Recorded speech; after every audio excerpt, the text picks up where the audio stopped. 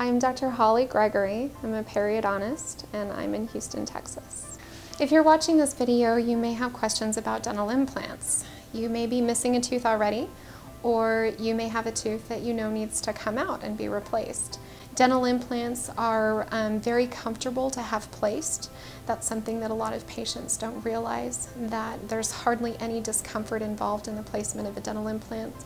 Um, as opposed to a tooth extraction, which is naturally sore because the body has nerves that grow against the tooth and that are angry when you take the tooth out.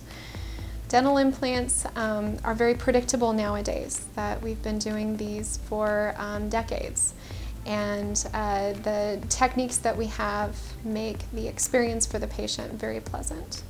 Your condition is unique and we look forward to understanding your needs and helping you to be healthier today, so give us a call.